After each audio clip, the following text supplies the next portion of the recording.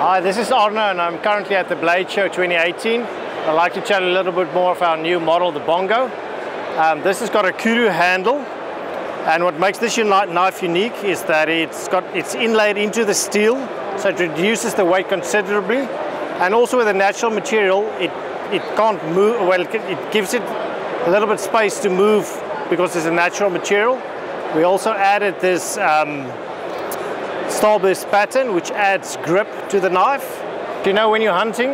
and it's very easily to if you get out of your pickup you lose your knife or especially in the field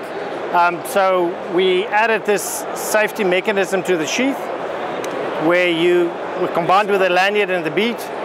you lock your knife into place and it's firmly secured and that will protect your investment. You can find them at africansportingcreations.com.